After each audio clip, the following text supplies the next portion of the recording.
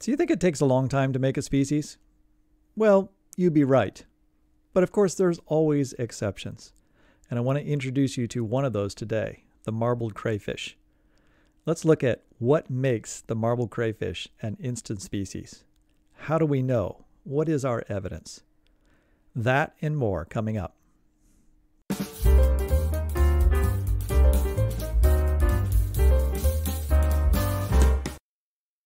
So, yeah, we're talking crayfish today, and the one we're going to focus on is this very interesting species, Procambarus virginalis, the marbled crayfish. Now, what makes this uh, particular species interesting is that um, it pretty clearly hasn't been around for a very long period of time. It was only discovered in the German pet trade uh, samples in 1995. And believe it or not, there's a lot of people interested in crayfish and crayfish are traded around the world. There's hundreds of species, and uh, had this particular uh, species existed long before 1995, it surely would have been noticed by somebody. Uh, and so, where did it come from? If it suddenly appeared, how could it have come into being uh, only in 1995 or very soon before that? So here's some interesting little tidbits about uh, Procambarus uh, uh, virginalis, all the members of the species are female. And you say, well, they're all female, so how do they reproduce? Well, they don't reproduce by males and females getting together and having sexual recombination, right? They produce by a process called parthenogenesis, and we'll, I'll show you what that is in a moment. They are most similar to another species of crayfish called Procambarus fallax, and that particular species is found in the southwestern U.S. in the tributaries of the Satilla uh, River in Georgia and Florida. So a, a, crayfish that has a rather limited uh, range. Now, what's interesting then, of course, is you're like, well, okay, so this was discovered in the German pet trade, but its closest, I guess you could say, its closest relative, right, is found in just a few tributaries of one river in Georgia and Florida. Um, where exactly did this species come from and how did it come to be? That's what we're here to answer. So here's our lovely specimen of the marbled crayfish. And uh, the marbled crayfish is actually a fairly large crayfish, and that owes to its distinctive genome, which we'll get to uh, in a little bit as we look at some of the scientific evidence uh, for the origins of this particular crayfish. Um, but I'm sure what you're really wondering at first is like, okay, so where did this crayfish come from? Uh, how did it come into being, and how is it related to this other crayfish? And I just told you they're all females. So how exactly does that work? So I've I've drawn this out. What what would usually happen in any particular crayfish uh, species that you want to pick out is that you would have two individuals, right? You'd have a male and a female crayfish. Uh, in this case, uh, we have Procambarus fallax, uh, and that, that species has 184 chromosomes. So you're starting with two crayfish, each with 184 chromosomes. Now, in order to reproduce, uh, two diploid organisms, you and I are diploid organisms, we have two copies of our genome. Um, we have to go through a process of dividing our genomes or, or our two genomes into uh, single sets of genomes, and that process is called meiosis. This probably brings back bad memories of biology from high school, right? Dividing the genetic material in half. Uh, and so if we take our 184 chromosomes and we divide them in half, we're going to end up making an egg and a sperm, the sex cells, each of which has one set of the genome rather than two. In this case, it's going to be 92 chromosomes. Now, in your case, and I assume that everyone watching is a human being, uh, you have 46 chromosomes as a diploid organism, so your double set of chromosomes, your double set of genomes. And then when you make sex cells, you divide that in half and you end up with 23 chromosomes in, in either the egg or the sperm. So here we have an organism that has a whole lot more chromosomes than human beings have. Uh, and so 92 chromosomes in the egg and the sperm. And then what do egg and sperm do? Well, they get together. And when they fuse together, uh, the process called syngamy, or you think of fertilization, it forms the first, right, cell of the next generation. Uh, and that's going to fuse the two nuclei that have the 92 chromosomes together into one cell that now has 184 chromosomes, which would be the same number of chromosomes that the parents of this particular individual cell had. And then what does that cell do? That cell is going to start to divide and grow, and it's going to develop into an adult organism, which all the cells in that particular organism have 184 chromosomes. Well, except for the sex cells, which will have undergone meiosis and will make 92 chromosomes again, starting the process once again. So this goes on and on and on. And any species, if it wants to continue its existence, is going to need to go through this process, right, of making new offspring, since there aren't any organisms that are immortal uh, out there. And so I'm also depicting here the fact that uh, this organism is a diploid. So let me get that term in here, right? A diploid organism just means two ploidy. Ploidy is your genome. You have two copies of your genome, which means you have two copies of every chromosome. And on each copy of your chromosome, you might have a, you would have a copy of a gene. So you have two copies of all of your genes, right? You have a gene for making uh, insulin, and, uh, and uh, crayfish have that too. Um, so you have a gene for making insulin, and uh, you have two copies of that gene. And those two copies may be identical to each other because both your mom and dad gave you the same copy of that gene, or they might have slight differences between them, in which case we call those different alleles because you have two different forms uh, of that particular gene. And so I'm depicting this here as you have a orange copy your chromosome, a green copy your chromosome. One came from your mom, one came from your dad, right? And you are a combo, right, of your mom and your dad. Those two gene copies have to sort of work it out amongst themselves. You know, this is the way the genes are going to function in me. Uh, and then I'm going to take one copy of those genes and I'm going to give them to my kids, all right, so this is the normal way a species propagates itself over time.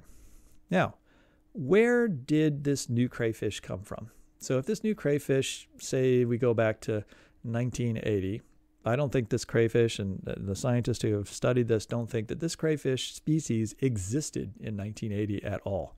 If it didn't exist at all, there's only two possible origins for it, right? It either had to have derived itself from another present species, making itself different enough that we recognize it as a new species, a different species from any other species alive. But it finds its origins in a common ancestor with some species alive on Earth today. Or it just popped into existence, right? Uh, and it's brand new and it doesn't share any relationship with any other species on Earth. Here's a hypothesis and this is the working hypothesis that scientists who have been researching this particular crayfish are working under.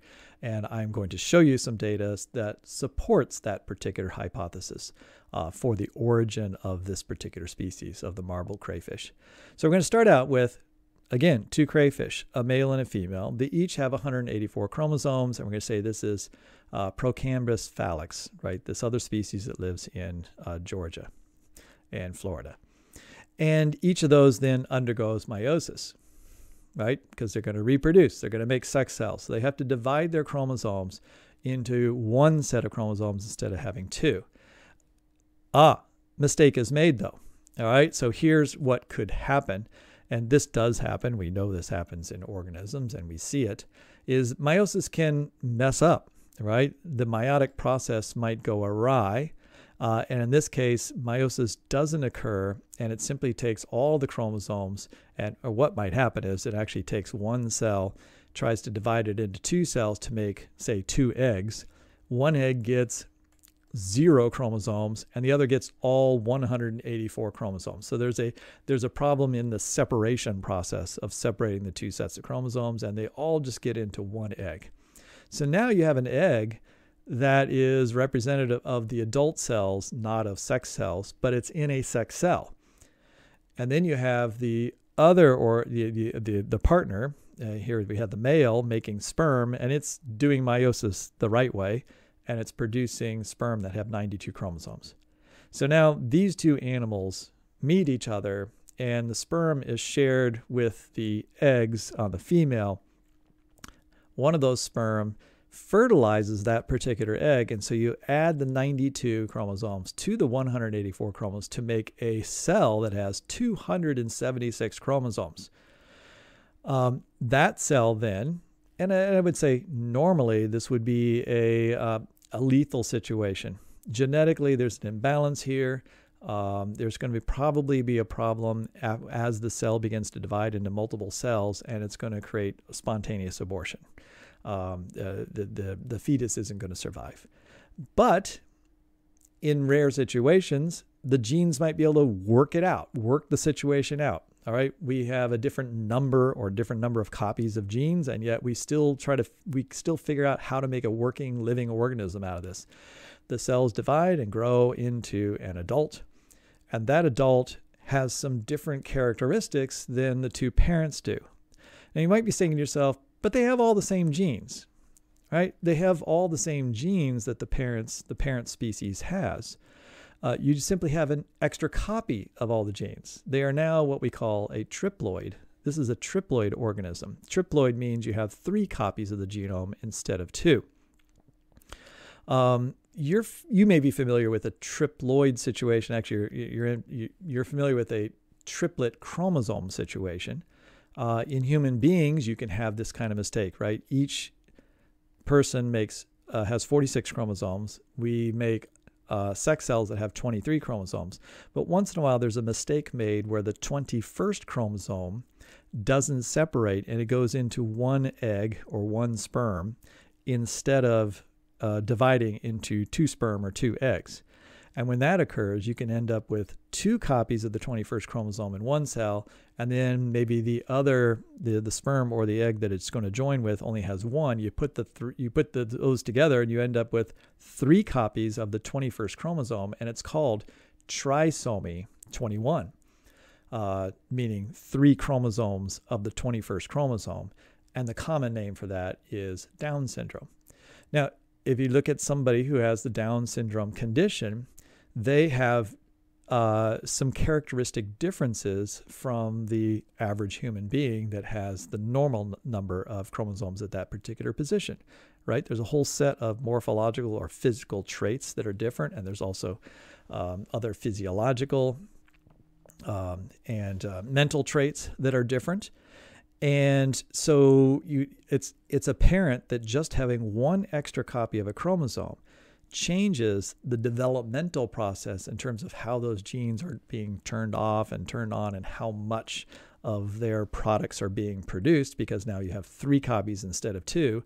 And that changes the developmental process resulting in an, in an individual in the end that has characteristics that are not like either of the parents. And that's what's happening right here with this triploid or three copied chrom- three copy genome of this particular crayfish. Now, this isn't just copying one set, this isn't just copying one chromosome and making three out of it. This is all the sets, right? So you have you have 92 extra chromosomes in this particular crayfish, and yet it makes a viable uh, uh, crayfish. Now, when I say viable, I don't mean that this crayfish can reproduce with uh, any of its uh, neighbors because because it has 276 it creates some problems itself doing meiosis. Meiosis has difficulty dividing three into sets of ones uh, and so it's going to create more mutations chromosomal mutations. Um, we know through experiments that have been done with the marbled crayfish we know that uh, that the parent species the, the proposed parent species as i'm showing here uh, attempts to mate with marbled uh, crayfish, but they're completely unsuccessful. So when their sperm or their eggs are mixed, well, actually, it's just going to be sperm because all marbled crayfish are female. If a male uh, Procambarus fallax tries to mate with a marbled crayfish, they're unsuccessful. The sperm can't enter and successfully fertilize the eggs of the marbled crayfish. But the marble crayfish does produce eggs. And what eggs does it produce? Well, it produces eggs that have 276 chromosomes. So they just bypass the step of doing meiosis. They simply form cells that act as eggs, but they never go through the process of doing meiosis. So they don't try to divide 276 into half of that, which would be an issue anyway, because that would be an odd number and chromosomes always come in even numbers in diploids. Um, and so what happens here is that they just don't uh, do meiosis. So that's another genetic difference between marbled crayfish and all other crayfish. They don't do meiosis. They produce 276 chromosomed eggs and they don't need to be fertilized. The eggs can be laid and then they can start to divide and they start to divide without ever being fertilized. Um, and so they aren't truly gametes because the definition of gametes or sperm and egg are gametes is that they are cells that need to fuse and join before they can begin the process of dividing and forming a new organism. In this case, they don't require any fusion. It just requires the eggs mature, they get to a point where they start that something triggers them to start dividing, they divide and grow into another crayfish. And because this first crayfish was female, they grow and divide into another female crayfish. That crayfish then produces more eggs that produce more crayfish that are all female. And so they are a clonal organism because it can only do asexual reproduction rather than sexual reproduction. But there's hundreds of thousands of species on Earth that are asexual, uh, that are that are true species. So this is in really every sense uh, uh, uh, of, of thinking about it, this is a different species now. It's an instant species. The moment that this particular uh, 276 celled zygote first cell formed and began to grow successfully into a crayfish, that was the very first member of this species. Now, how many members of this species are there? There are millions and millions of this particular species on Earth now. Uh, they're found in um, they're found in uh, people's collections, all right, in, inside of aquaria.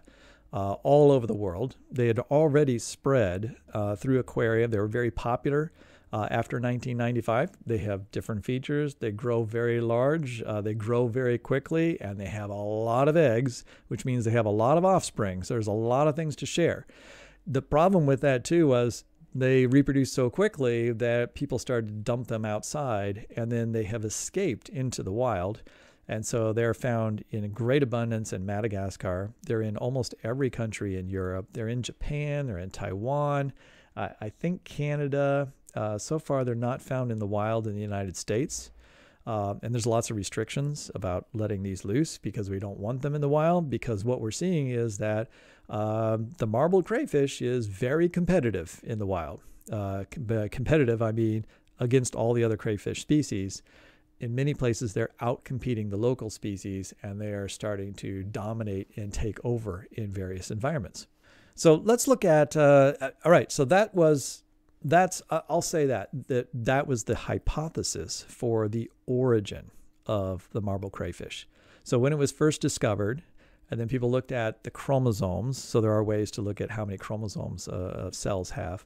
They noticed that yeah, they have a third more chromosomes than other crayfish have, and so it was easy to imagine a scenario where they're autopolyploids.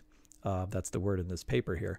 Auto means doing it themselves. Polyploid means doubling a copy of chromosomes. And then they uh, reproduce by parthenogenesis. So here's a paper from 2015. Remember, this is discovered in 1995. Um, there's been a, a, quite a bit of research done on these, and recently a lot more genetic work to try to get down into the details of just what they are and how they're related to other organisms. And then also there's just a lot of interest in what will happen to this particular species. We're we're actually watching a brand new species that has come into existence. We didn't see the very moment it came into existence, but we know we're really close to that moment. And now we're watching this species spread across the earth. and we're able to sample the species in different places at different times and watch how it mutates, watch how it adapts to different environments uh, and test a variety of different kinds of molecular biology um, um, things that are going on, right? We have to test how is natural selection acting on this? How are mutations affecting uh, this particular species? Um, but we'll get to some of those questions a little bit later here. So here's a paper, The Marbled Crayfish as a Paradigm for Saltational Speciation. Uh, now, saltational means uh, immediate or quick speciation versus a long, drawn out process by which populations are separated. Allele frequencies change over time as organisms adapt slowly to new environments and eventually accumulate enough changes that we would identify those things as different species.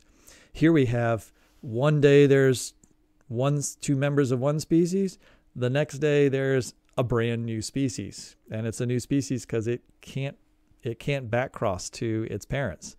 Uh, it's isolated on its own, and it can only make more of itself, uh, and it can't share any of its genetics with any other species so this paper looks at some of the differences between the marble crayfish and other potential uh, relatives, which I've already mentioned the main one, which is Procambarus fallax. This is just a, I'll show you just a couple images from this paper, just to, uh, for, this shows you that these two crayfish are pretty similar, but they're not identical. Uh, and so over here we have the, um, the marbled crayfish, and over here we have its closest relative, we think that is its parents. And there are slight differences in the morphology, the external appearance of these things. They have slightly different coloration. You see their eyes are, they actually have a slightly different eye color. Um, and if you add it up, there's dozens and dozens of traits that are um, consistently different. Uh, and even though they have very similar similar genetics but not the same, they're expressing their genes in different ways, probably because they have these three copies of their genome. So, one place where you can see a dramatic difference uh, between these two species is you can see the carapace length for the parent species, the ancestral species, we could say. Uh, the average was uh, less than 20 millimeters in length, whereas uh, the marble crayfish is uh, 40 millimeters in length, so over four centimeters in, in length uh, at a particular stage uh, in its development. But then look at the number of eggs produced, right? This, I think, uh, this number was, I think the average was 41 for the ancestral species, but um, these, tet- these, I'm sorry, these triploid species were making on average 300 eggs. So that might explain a little bit of why this particular species is doing so well because uh, if you have its parent around and its parent is only in Georgia and Florida, so it's competing against other species in other places like Europe, but those species are kind of similar in the sense that they make fewer eggs. Um, this thing makes a lot of eggs. Now, it does have a huge range from a few to a lot, uh, depending on the location it's in. But nonetheless, the average is an enormous amount of eggs. Now, if you produce a lot of eggs and every single one can just grow into another female adult, uh, each of which can produce a whole lot of eggs again, and these grow very quickly as well, um, then you can see how they could just outcompete their neighbors by simply making a lot of crayfish at a much faster pace uh, than other species can. And that's one way you can outcompete your neighbor, even if even if maybe you're not quite as good at getting food or quite as, you know, you might not be quite as fit in many other aspects for that environment. But if you're just out reproducing them, you can shove them into uh, extinction uh, simply by outnumbering them. Another paper, and this is the uh, a group that actually sequenced the entire genome and once they had the entire genome, now they have all the chromosomes and they can look at the sequences and they can see now that what's actually going on here. So, clonal genome evolution and rapid invasive spread of the marbled crayfish. Yes, it is rapidly spreading and invading into many new environments. There's actually a lot of concern about, and that's that's why many countries have banned marbled crayfish uh, even from the aquaria, the aquaria uh, industry. But certainly, if you have one in an aquarium, you're going to be hit with a huge fine if you're ever seen putting this out into the wild, uh, because there's a concern that these we don't really know how competitive these particular crayfish are going to be over the long run, uh, and they might displace uh, all of our other natural or native uh, crayfish. So, just want to point out a couple things about this species from these genetic studies and in particular this genome study. Um, one is, and I, I don't want to, I'm not going to explain all these figures, but this particular figure right here, uh, what this is telling us is variant distribution. It's saying that if you have variant distribution of like around 0.5, it means that you have a lot of different variants, and most of the individuals that are looked at are heterozygous. In other words, there's a lot of heterozygotes. A heterozygote is when you have one copy of a gene and the other copy of the gene you have is different from it. So, like being, you know, if you have if your parent has a brown eyes, another parent has blue eyes, you might have a brown eye gene and a blue eye gene. The brown eye gene is kind of winning out and so you have brown eyes, but nonetheless, you genetically are heterozygous. You have variation in you. Um, the parent species isn't terribly variable. In fact, there's another related species that isn't very variable either. So you don't see a lot of lot of variation within individuals. Um, but in this new species, there is a tremendous amount of variation there. Um, a little bit of that is because you have the three different chromosomes, but it turns out the two chromosomes are fairly fairly similar to each other, and the other chromosome is very different um, than the other one. And so it's as if what happened was you had two different individuals from two different ends of the spectrum of the uh, of this particular species, because we think that this species, both parents came from this other species. But to get that much variation into this new species, it must have been like two of the most different types or versions of that other species that then contributed to the chromosomes in this new species. And because now all they do is can clone it, um, they don't get rid of that variation. They just maintain that variation over time. Um, and so this species is highly variable. You might you might be wondering like, well, so how did you end up with two very different uh, members of of um, Procambarus fallax, uh, which is only found in a small area of Georgia and Florida. Well, that particular species is found widespread throughout the world in aquaria. And the, the prevailing theory right now is that all of this, what I'm explaining, didn't actually happen in the wild. All right. So this event that created this new species, this new individual that becomes a new species, probably happened inside of somebody's aquaria somewhere. Uh, and that aquaria could have been anywhere, even though it was first discovered in Germany. Um, these animals have been spread, you know, have been passed around. So if you think about these animals being passed around, somebody collected one in Georgia at some point, maybe another one in Georgia, and it got sent somewhere in the world. And then so you have these different individuals being moved around, um, you can have really different variants. And then somebody had two different ones of these in the same aquaria, and those are the two that mated with each other and ended up forming this mixture, right? This hybrid between the two opposite spectrums of variation within that particular species. Now, this middle figure here is just showing the relationships of the marbled crayfish with uh, the other two species of crayfish that are the most similar morphologically. One was uh, Procambarus fallax, and the other one is Procambarus uh, alaria. Um, and the length of the line represents the amount of genetic difference, so the or the genetic distance uh, between those species. And so uh, it has been thought that maybe this one contributed something uh, to the new marble crayfish. But now that they've sequenced the entire genome and compared all the genes and the sequences, um, they realize that all the sequences look like they have come from and are most similar to this particular species.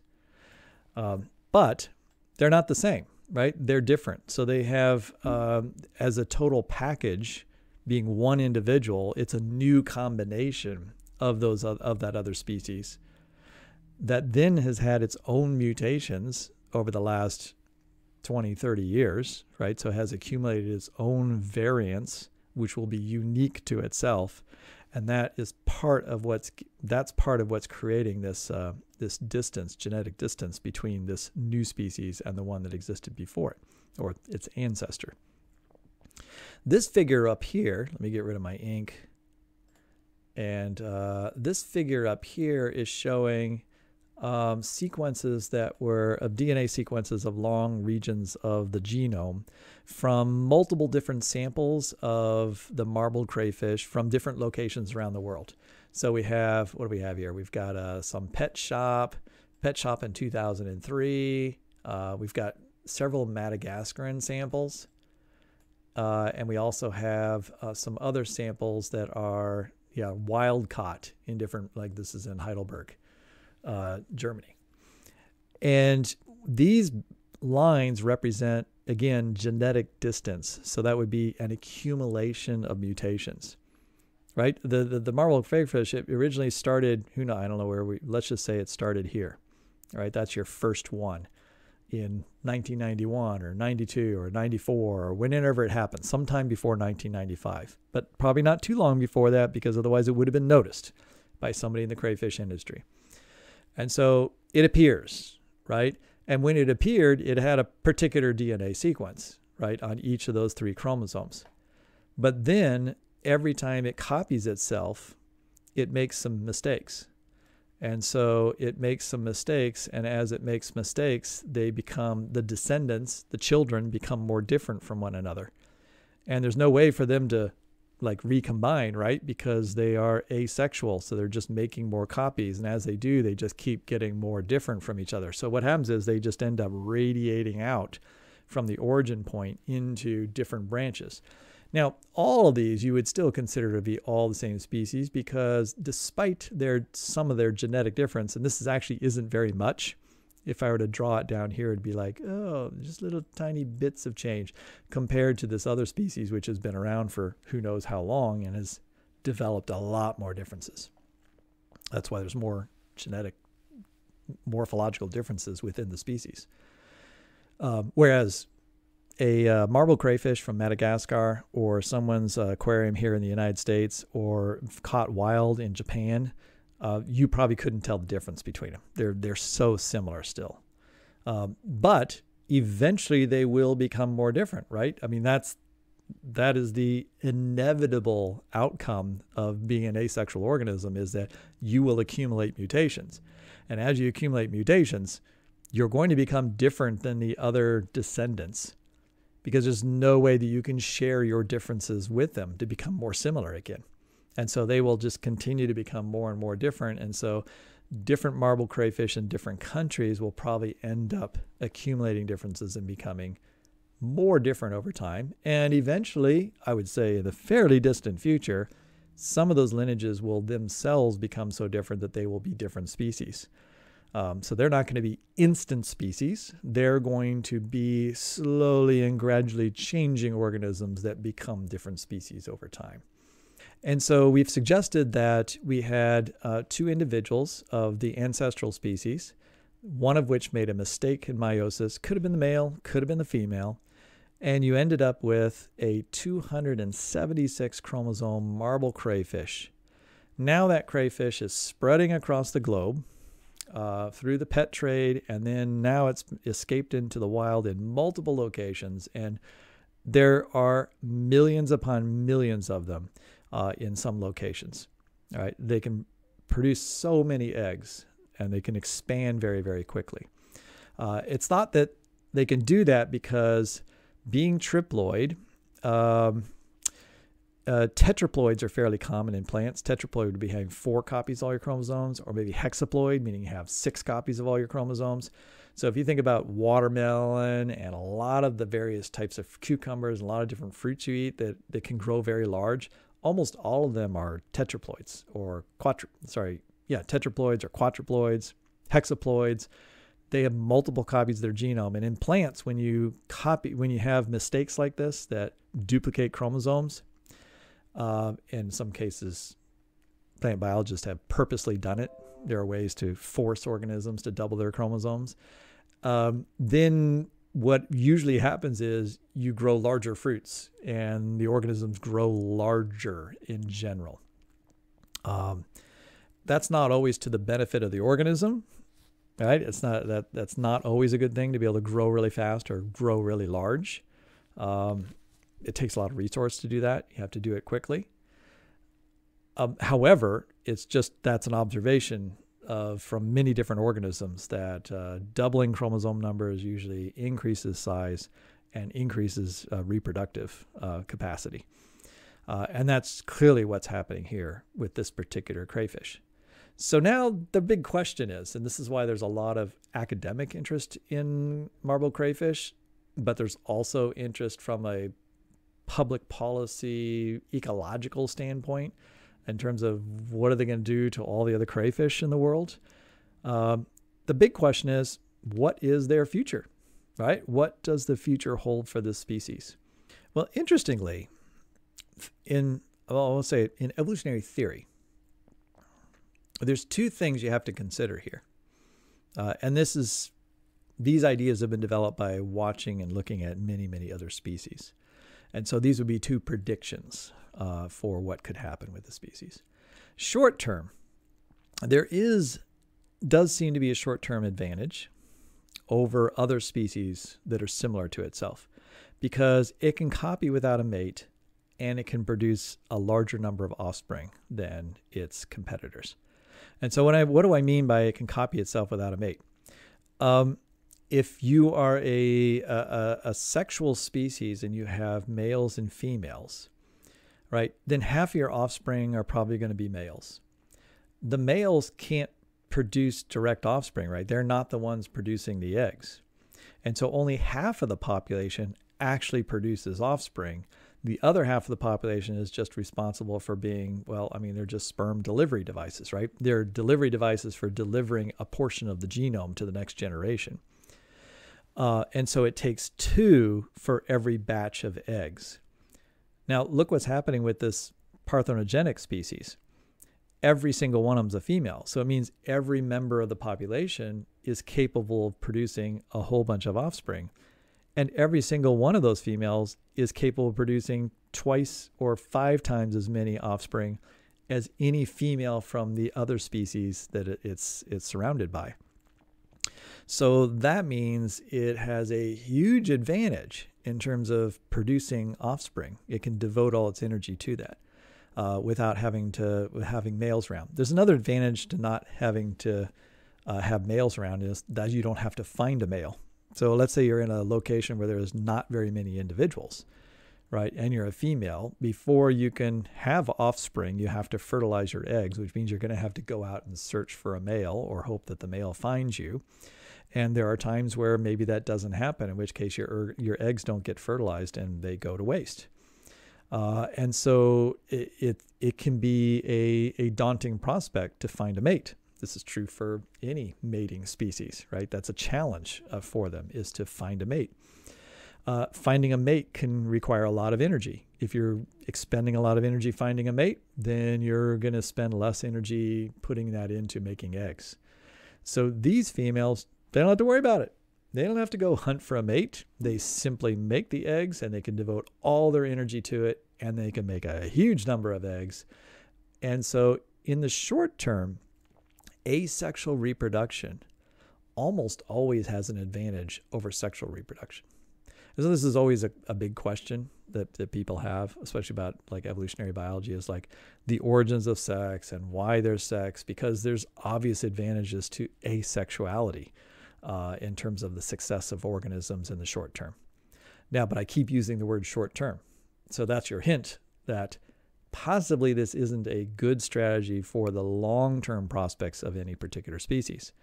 So there is a long term disadvantage for an asexual species. All right. So the long term disadvantage over other species because it can't remove the negative alleles by recombination. Uh, and so what I mean by that is if you have a mutation in one of your offspring, uh, what happens in diploid organisms that can mate with each other is uh, you could have a, a, a, negative mutation, but then when you cross with another member of the species, right, and form offspring, some of those offspring won't get that particular negative allele. They'll only get the other allele. And so it's kind of, you can think of it as you keep booting out some of your negative alleles this way and you produce offspring that then are joining together the other the other side of the other side of the coin here is you can have an offspring that has a positive allele you know, some new change that makes it better adapted for its environment. And you can have another individual that has a different positive benefit, you know, uh, new beneficial allele. And uh, but in an asexual species, you're never going to get the two together in the same organism, right? Because you can never like say, "Hey, I'm going to give you this, and I'll give you this chromosome." You can put them together, and you have a new offspring that has both these beneficial um, genes, and that's going to make it even you even better. In other words, it helps you adapt to your environment more quickly if you can recombine with lots of other organisms that have different variants and you can make new packages of variants, some of which might be much better for future environments. An asexual organism simply makes lots of variants, and each of them might have a beneficial variant, but they can't ever combine them into a package of one organism, which would have even more benefit. Uh, and so all you're relying on is they have to incrementally add beneficial mutations. And at the same time, it's harder for them to get rid of all the negative mutations they have. So what can happen is you can build up what's called something like a, a what's called mutational load.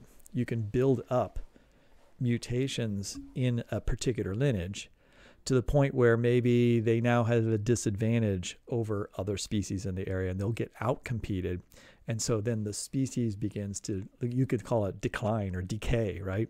Um, that species no longer is as competitive and fit for the environment. Now, they do have some ways to overcome this long term. One is by producing so many offspring. Ones that have a bunch of negative mutations is like, well, I've just produced so many offspring. Like, if a few of them die, that's fine because that removes those negative mutations a few of these other individuals didn't have those mutations and they will continue on. They'll make a new a new branch which will then replace all those other members of the species. And you can just kind of keep on adding on new variants uh, and uh, possibly continue your existence that way. Um, but it, it's it, it can be a tough road but if you're extremely numerous, which this species may become very numerous, this, this species could easily become a number in the hundreds of millions, if not billions, at some point.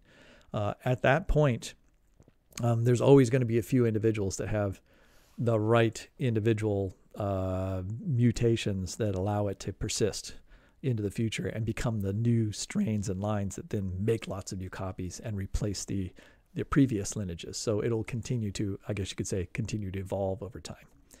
Now, what does that kind of remind you of? Uh, you know, an asexual organism, all right, that can't recombine with anything, and so it's it all it's doing is accumulating mutations over time and producing new strains or new variants over time.